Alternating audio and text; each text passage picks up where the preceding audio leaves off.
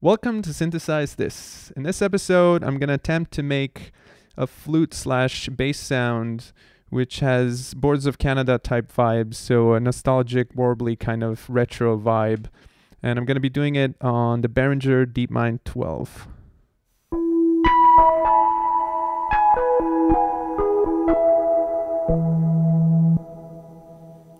Let's get started.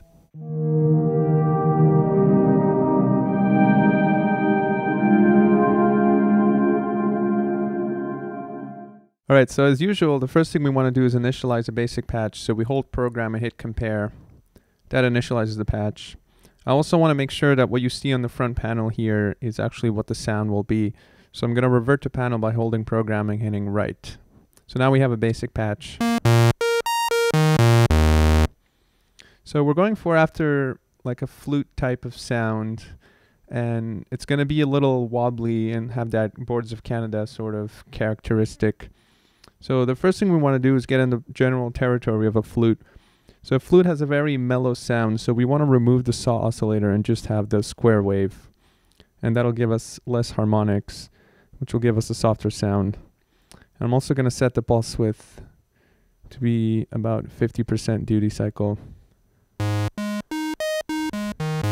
I'm also going to bring the octave up one octave because the flute sound is generally higher up here. But we can adjust later as we go because this sound might turn into more flexible and not just be a flute. But we're starting with flute as a principle here. So again, the other way to make the sound softer is to close the filter, the low pass filter here.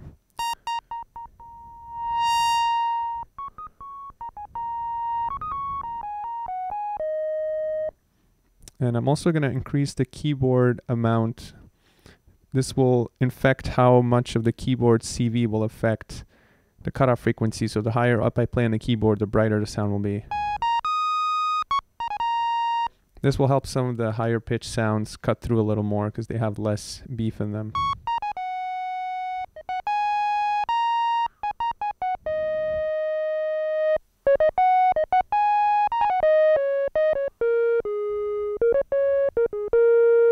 So we're already in general flute territory here.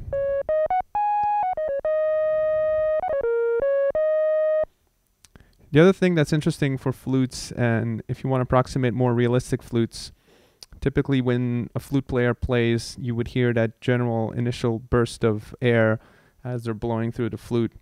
And this is more obvious in pan flutes where you're really kind of blowing into the air. And to simulate that, we can use a bit of noise. And so we're going to try to find a way so that we get an initial burst of noise so that we don't have a continuous noise because when you're playing the flute, you're not constantly projecting this high attack. You're kind of, you spit at the beginning and it gets that initial noisy attack and then you get the flute sustain. So we're going to use the third envelope here, which is called the mod envelope here, to modulate the volume of the noise so that it only bursts at the beginning and yeah, so let's achieve that now. I'm going to leave the noise, uh, the noise level all the way down, and we're going to rely completely on the envelope to bring it in and out. In order to make this effect more obvious, I'm going to open up my filter just for now. And I'm going to go into my mod matrix. I'm going to select envelope 3 as my source. And as a destination, I'm going to choose the noise level. And one shortcut for that is you can hold mod and then move the noise slider and that'll select noise level here. So the modulation depth is all the way down. I'm going to exaggerate it for now so you can hear the effect. And I can hear that noise. So the key thing now is to go into the mod envelope, which is the third envelope here. And I'm going to shape it, reduce the sustain all the way down, and have just a bit of decay and quick attack. So as you can hear, you get that punchy noise attack at the beginning. And then it fades out and all you hear is the note.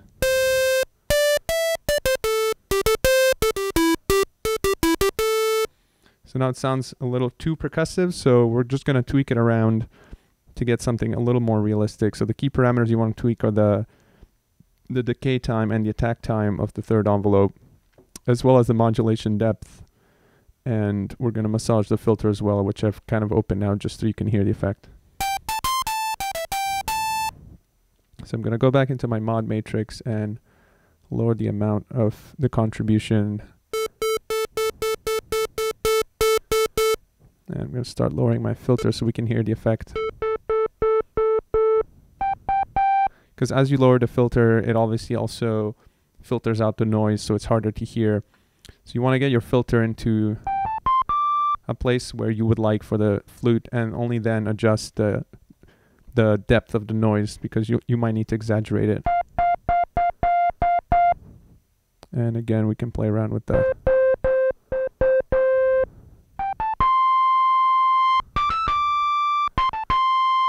And if it's a little too aggressive and percussive, you can lower the attack time a little bit.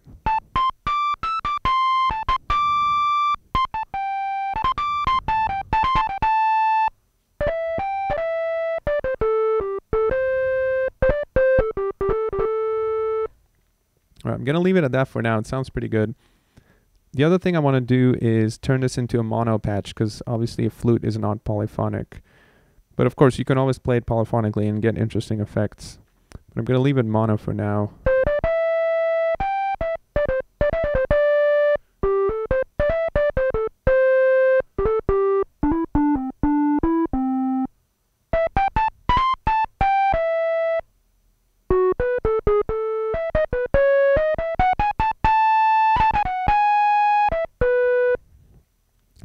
The other thing I like to do for um, to keep the sound a little more expressive is to assign a little vibrato to the mod wheel or aftertouch. So we're going to do mod wheel for now. So in the oscillator parameters, when I hit edit here, there's a few options. One of which is to assign the source of the pitch mod. And right now it's set to LFO1, so we're going to leave it at that. And then we can control the modulation depth of that using the wheel, the mod wheel. And we can assign how much that effect has here with this wheel to pitch mod amount here. So I'm going to open up or increase my mod wheel all the way up so we can hear the effect. And I'm going to change this to a sine wave by holding edit and moving the rate knob. And now you can see the sine wave is selected. And the key is to make this subtle. So we can either use this for vibrato type effects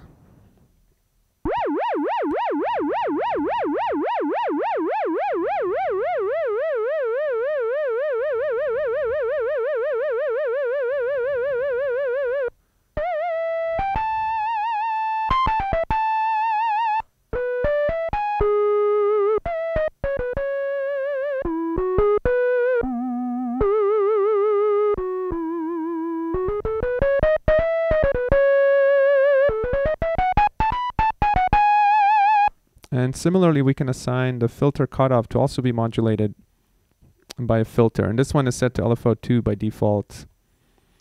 Uh, I said modulated by filter. I meant modulated by an LFO. um, and similarly, you can also set the mod wheel LFO depth for this parameter. And in this case, it's using LFO2.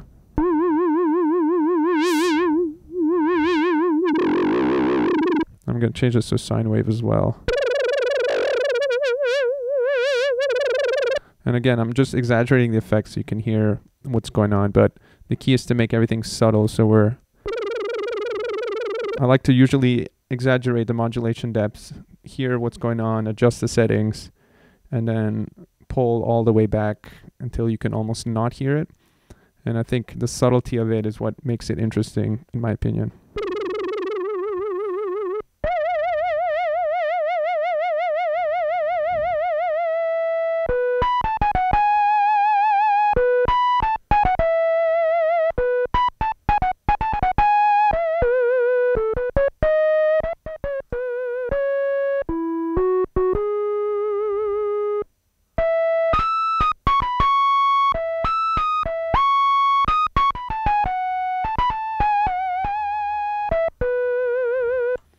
So we have it set up in sort of a vibrato mode right now. But the other cool thing you can do, which is more aligned with the Boards of Canada style sound, is to pull the rates all the way down and get some pitch modulation that happens in very little amounts but stretched out over long periods of time so you get these kind of warbly sounds that are going in and out of tune and that simul- simulates the characteristics of vintage analog synths which have trouble kind of keeping in tune. And here again the key is subtlety because you don't want it to sound like it's going out of tune. You just want to give a little bit of character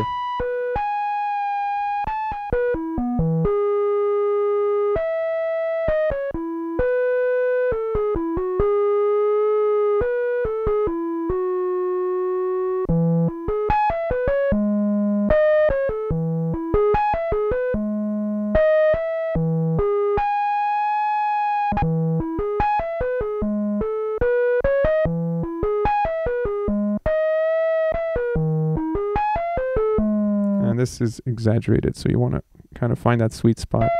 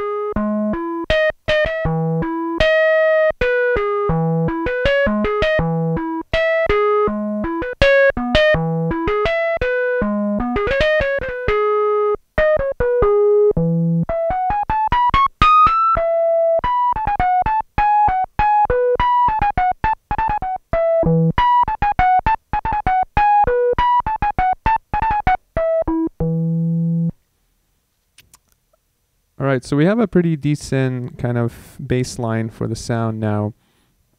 So the other thing I'm going to do now is move over to the effects, which will also add a lot of character. So one key effect I like to add is some sort of tape or analog delay. And the closest thing we have in the DeepMind is this T-ray or Telray delay, which is based on oil cans of all things.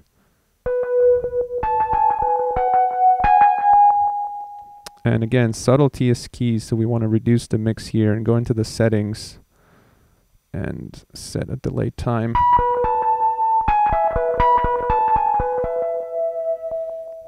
And one cool thing we can do on the DeepMind is actually modulate different effects parameters. So I'm going to go back to my mod matrix and I'm going to assign LFO2 uh, this backwards. All right, so I'm going to assign LFO2 as my source and as my destination. If I go all the way to the end, you can see these effects parameters start to appear, which are contextual to the effects you have selected. So in this case, effects one is my delay, and then one of the parameters is the delay time. So I can increase this amount. And here again, subtlety is always key because right now it just sounds like a pitchy mess, which it could be what you're after. This is like extreme, extreme nostalgia. um, but we want to kind of tone it down a little bit. And this adds to the pitch warbly effect because, as you know, when you change the time of a delay, it actually changes the pitch. And if you do that in a slow amount, which right now my LFO2 is modulating both my cutoff frequency and this delay time for the the analog delay. And I'm going to go back to my effects section and in the second slot I'm going to add the TC reverb and dial it down so it's not too crazy.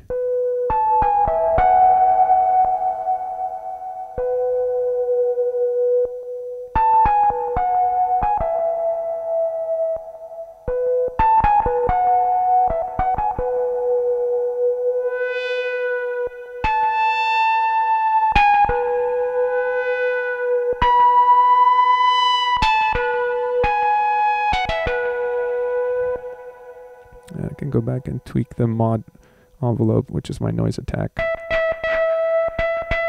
And in the mod matrix, I can reduce the amount of noise because it's I find it a little too much.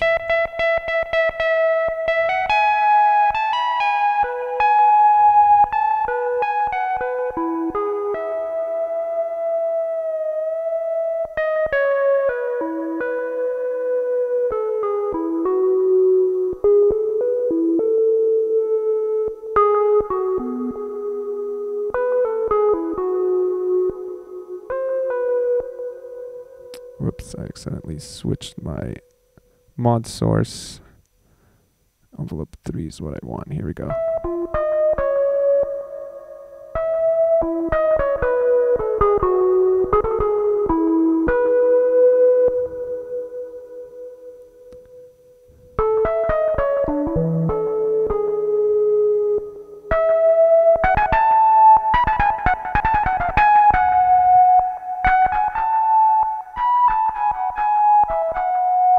And you can lower the attack a little bit on the VCA envelope so that the flute is not so percussive and aggressive because there's different kinds of flute playing. You can blow softly or you can kind of spit into the flute like you would a pan flute.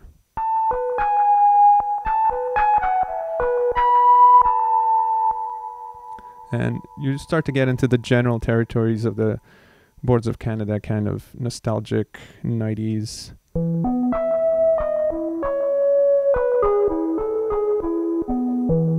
not the exact sound, but you get in the ballpark. The general idea is to just have these soft, warm sounds and then add just the right amount of warble and pitch shifting and kind of detuneness, which adds to that retro, nostalgic kind of feel. And you don't have to play it as a flute. The sound is pretty universal, so you can pitch it down. And, and then the key thing they do a lot is um, modulating the frequency as you play different passages so it's not static. And I believe their bass sounds are heavily based on the SH101. And the DeepMind sounds a lot like the Juno synth, so it's all the same kind of Rolandish family.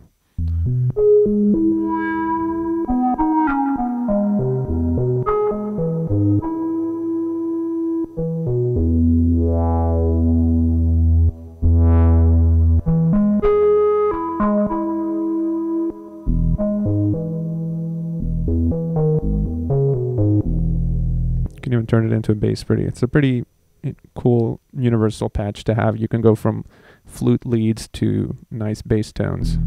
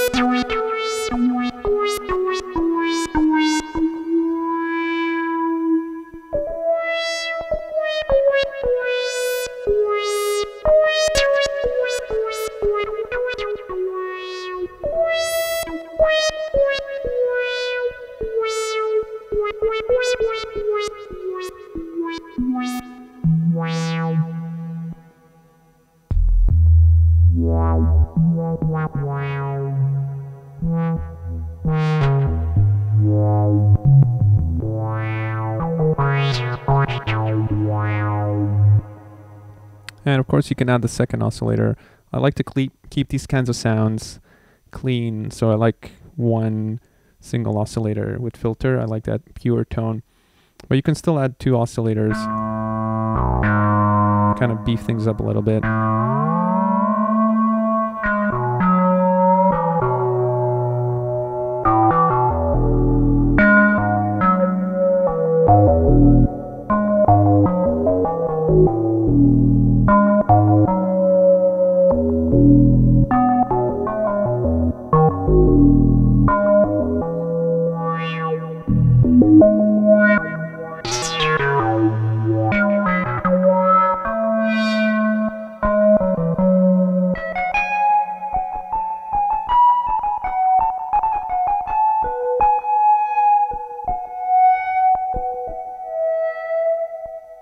And of course, as I mentioned before, you don't have to leave it in mono mode. It's just more natural for flute and bass and lead sounds. But since we have 12 voices here, we might as well see what it sounds like in chords.